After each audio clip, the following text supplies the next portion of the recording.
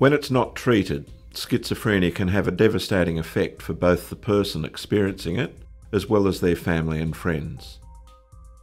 Symptoms can include hearing voices, jumbling up speech, and having unusual beliefs.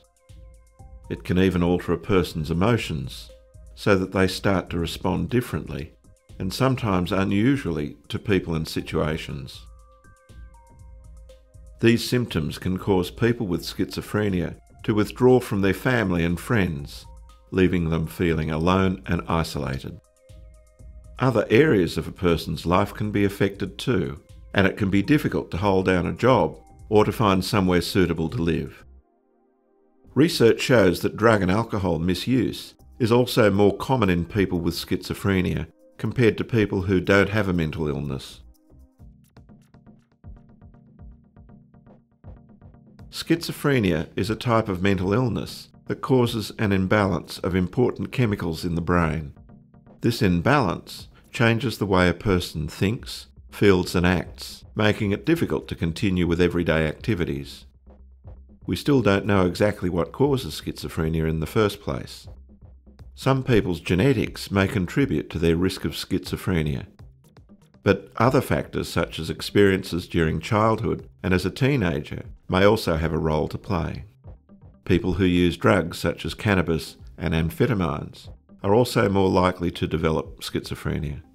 Research shows that people with schizophrenia lose brain tissue over time. This brain tissue is called grey matter. As grey matter is lost, the brain gradually becomes smaller, something that can't be reversed.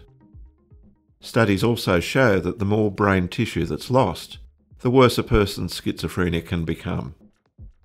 We know that only about 15% of people are cured of their schizophrenia five years after their first episode.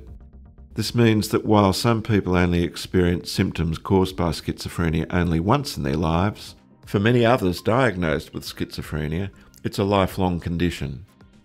For these people, as symptoms get worse, it means they are experiencing a relapse, so that their schizophrenia is starting to affect their life again. Relapses often need to be treated in hospital, and this can cause a major upheaval to a person's life.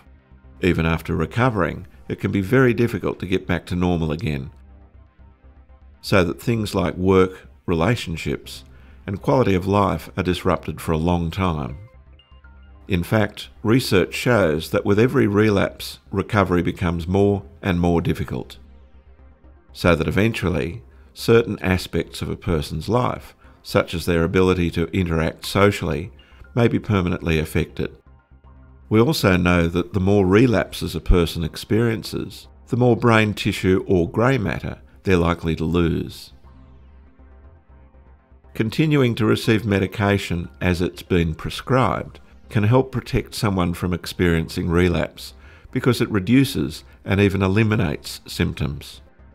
Staying well means that a person can continue to work or study, can live independently, and can enjoy their relationship with family and friends. Also, the, the medication has allowed me to be able to engage in things like work as a musician. Um, of course, the, the uh, presentations I make with the, with the Remind program. The best results are often achieved by combining emotional and social support, usually as some form of professional therapy, with medication. Support from family and friends is also really important. I'd have to say medication has been the most reliable treatment over the years. I've taken a number of different medications from the older ones to the newer ones. My current regime has been over the last 12 years or so. Being diagnosed with schizophrenia doesn't have to affect your life negatively in the long term. Combined with emotional and social support, continuing to take the medication you've been prescribed is the best way to stay well and reduce the risk of experiencing relapse. And then you can get on with living.